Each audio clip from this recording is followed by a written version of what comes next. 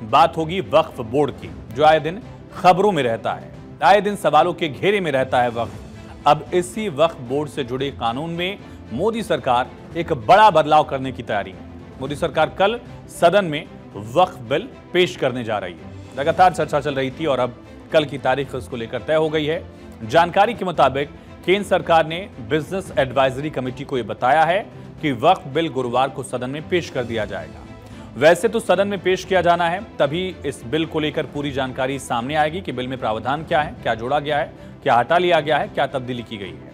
लेकिन सूत्रों से मिली जानकारी के मुताबिक, सरकार द्वारा लाए गए बिल के तहत वक्फ बोर्ड अधिनियम में 40 से अधिक संशोधन यानी तब्दीलियाँ, बदलाव किए जा सकते हैं।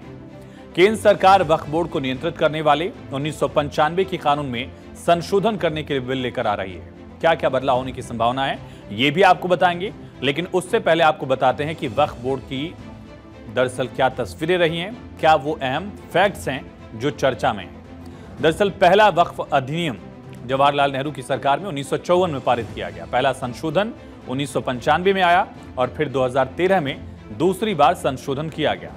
दुनिया में किसी भी देश में वक्फ बोर्ड के पास इतनी शक्तियाँ नहीं है जितना भारत में है। किसी मुस्लिम देश में भी वक्फ के पास इतने पावर्स नहीं है जितना इंडिया में है। यहाँ तक कि सऊदी या ओमान में भी ऐसा कानून नहीं है। वक्फ के पास ज़मीन चले जाने पर इसको पलटा नहीं जा सकता है, चैलेंज नहीं किया जा सकता है। पावरफुल लोगों ने वक्फ बोर्ड पर कब्जा कर लिया है। दुनिया में सबसे ज़्यादा संपत्ति वक्फ की भारत में है।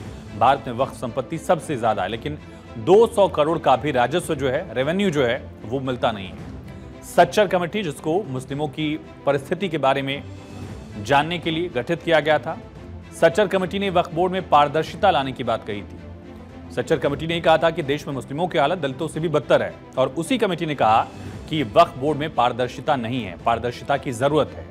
वैसे वक्फ संपत्ति का उपयोग सिर्फ़ मुसलमान ही कर सकते हैं। तमाम बड़े फैक्टर्स हैं फैक्ट्स हैं और इनमें से कई बदले भी जा सकते हैं, कुछ को लेकर संशोधन की बात कही जा रही है और शायद यही वजह है कि मोदी सरकार वक्फ बोर्ड बिल ला रही है ताकि इसमें ट्रांसपेरेंसी आ सके, पारदर्शिता आए। ऐसे में आपको बताते हैं कि सरकार जो वक्त बिल लेकर आएगी, उससे इसमें बदलाव क्या होगा, संशोधन क्या होगा। वक्त में पारदर्शिता और जवाबदेही लाने के लिए जो अकाउंटेबिलिटी है, जवाबदेही है, इसके लिए वक्फ अधिनियम उन्नीस सौ पंचानबे में संशोधन करेगी सरकार। नए बिल में आगा खानी और बोहरा वक्फ को भी परिभाषित किए जाने की दरअसल उम्मीद है और कम से कम पाँच साल से मुस्लिम धर्म का पालन करने वाले ही चल अचल संपत्ति को वक्फ कर सकते हैं। नए बिल में वक्फ से मिलने वाले धन से विधवाओं तलाकशुदा, अनाथ का कल्याण की बात हो सकती है, ये संभव है। यानी जो रेवेन्यू होगा, उसका इस्तेमाल मुस्लिम अनाथ, मुस्लिम विधवा महिलाएँ और इनके लिए किया जा सकेगा, ऐसा शायद प्रावधान हो, इसकी संभावना है। सभी रजिस्टर्ड वक्फ संपत्ति की डिटेल छह महीने में पोर्टल पर डालने की बात भी होगी।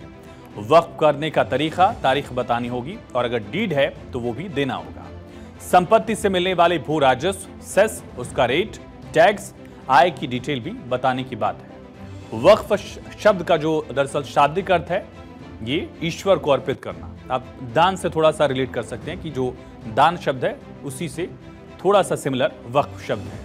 और ये कानून लागू होने के बाद, अगर सरकारी संपत्ति को लेकर विवाद है, कोई ऐसी प्रॉपर्टी है जिसको लेकर डिस्प्यूट है तो ऐसी स्थिति में संपत्ति की जाँच कलेक्टर करेंगे। और अपनी रिपोर्ट राज्य सरकार को देंगे और रिपोर्ट के बाद राज्य सरकार रेवेन्यू रिकॉर्ड में बदलाव भी कर सकती है। अभी तक इस तरह के बाउंडेशन थे। लेकिन वक्त बिल को लेकर मुस्लिम समुदाय के लोगों का कहना क्या है, उनका रिएक्शन क्या है, वो क्या सोचते हैं? पहले सुनते बहुत टाइम से हम डिमांड मेमोरेंडम दे भी चुके हैं। हमारे अलावा कई ऑर्गेनाइजेशन भी दे चुके हैं मेमोरेंडम तो सरकार के डिसीज़न हम वेलकम करते हैं और तमाम लोगों से अपील करते हैं कि जब तक आप अमेंडमेंट बिल को पढ़ नहीं लेते जब तक आप किसी को मिसलीड ना करें, मुझे पूरी उम्मीद है जो भी बिल आएगा उससे ट्रांसपेरेंसी आएगी, क्योंकि बहुत भ्रष्टाचार फैला हुआ है वक्त के अंदर, जिसकी सॉल्यूशन की बहुत सख्त ज़रूरत है। और कुछ प्रोविज़न ऐसे हैं जो मैं समझता हूँ जो क्लैश है आपस में, उनको सॉर्ट आउट करना बहुत ज़रूरी है, इसलिए हम सरकार के डिसीज़न का वेलकम करते हैं। तो अभी अगर वक्फ बोर्ड में कोई अमेंडमेंट हो रहा है तो इसको किसी भी तरीके से नेगेटिव सेंस में लेने की ज़रूरत नहीं है। मुझे ऐसा लगता है कि हमको सरकार पर भरोसा होना चाहिए।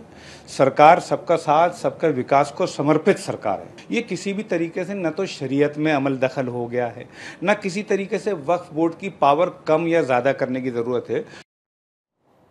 तो सरकार वक्फ से जुड़े दो बिल संसद में लेकर आएगी। एक बिल के ज़रिए मुसलमान वक्फ कानून 1923 को समाप्त किया जाएगा और जो दूसरा बिल है, इसके ज़रिए वक्फ कानून उन्नीस सौ पंचानबे में अहम बदलाव यानी संशोधन होंगे। सरकार का कहना है कि बिल लाने का मकसद जो है, उद्देश्य वक्फ संपत्तियों का बेहतर प्रबंधन, बेहतर संचालन। जैसा हमने आपको बताया कि दुनिया में सबसे ज़्यादा वक्फ की संपत्तियाँ भारत में हैं, लेकिन रेवेन्यू 200 करोड़ से भी बेहद कम है। बताया जा रहा है कि इस बिल के ज़रिए वक्फ बोर्ड में जारी अनियमितताओं पर ब्रेक लगेगा। वक्फ बोर्ड को अपनी संपत्तियों से हर साल करीब महज 200 करोड़ की ही आमदनी होती है। और नए बदलाव का मकसद यही है कि गैर कानूनी तरीके से कोई प्रॉपर्टी वक्फ बोर्ड में न जाए और इसमें ट्रांसपेरेंसी हो।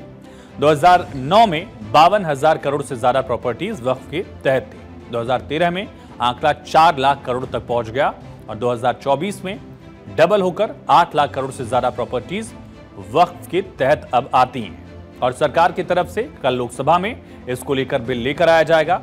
लगभग 40 संशोधनों की बात कही जा रही है और इन 40 संशोधनों में कई सारे जो पावर्स हैं, वो कलेक्टर को भी दिए जा सकते हैं। और मसलन, ये भी प्रावधान हो सकता है कि वक्फ बोर्ड में जिला स्तर पर दरअसल कलेक्टर्स को भी कुछ अधिकार दिए जाए।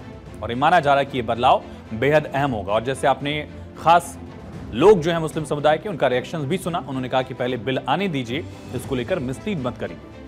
तभी पता चलेगा कि आखिर इसमें क्या प्रावधान किए गए और उसको एक सुधार की तरह देखने की ज़रूरत का ज़िक्र जो है, मुस्लिम तबका भी कर रहा है।